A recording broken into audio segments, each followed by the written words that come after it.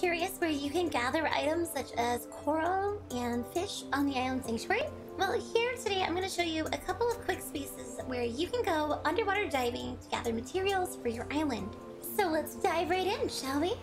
Here on the east side of the island sanctuary, you'll be able to dive for items such as island squid, island jellyfish, island coral, and island laver.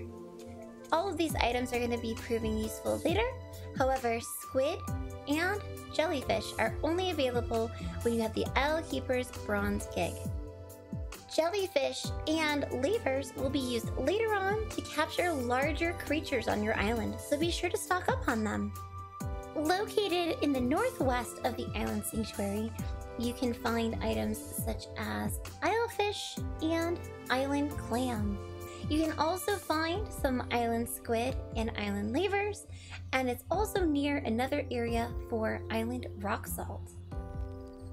So there you have it! I hope you enjoyed this little bit of a deep dive into what you can do here on the island sanctuary, and I hope that you have fun exploring it yourself. Let me know in the comments what's been your favorite part of the content so far, and I will see you in the next video. Have a good one! Bye!